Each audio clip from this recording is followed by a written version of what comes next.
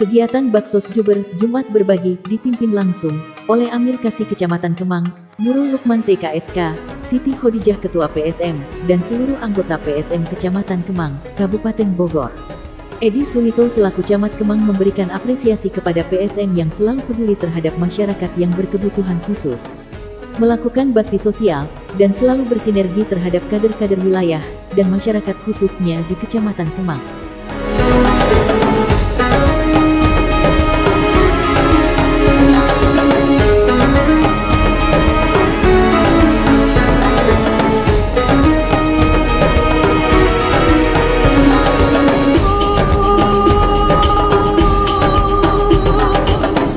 Kami mengucapkan terima kasih kepada pendamping IPSM Kecamatan Kemang yang sudah eh, melakukan gerakan peduli masyarakat yang eh, kurang beruntung, terutama kemarin melakukan beberapa program di antaranya pembagian takjil, pembagian sembako, kemudian bantuan sembako juga kepada pondok pesantren Salafiyah.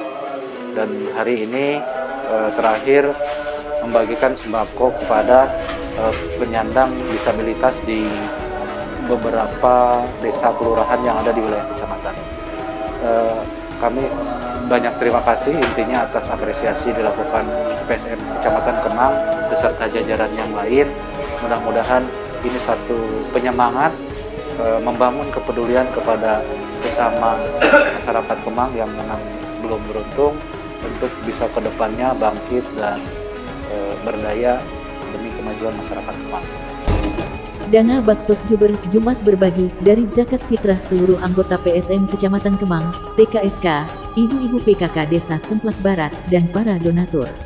Nurul Lukman Hamid selaku TKSK Kecamatan Kemang menambahkan, Baksos Jember di bulan suci Ramadan kali ini sangat berbeda dengan yang sebelumnya. Kalau sebelumnya berbagi ke pondok pesantren Syalafiyah, Baksos Jember kali ini diberikan kepada PMKS penyandang masalah kesejahteraan sosial lansia, disabilitas, yatim, dan duafa di delapan desa dan untuk satu desa disediakan sebanyak 45 bingkisan.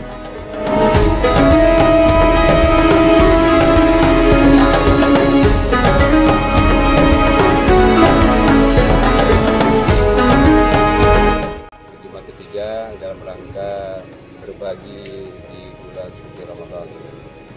Namun hari ini beda dengan hari-hari yang kemarin. Minggu-minggu yang kemarin kita ke pondok-pondok pesantren Salafi, tapi hari ini kita langsung door to door ke rumah klien atau eh, korban banyak ya. Ada lansia, disabilitas, eh, anak lantar yang lain-lain mungkin. Firman Sang Petualang Palapa TV mengabarkan.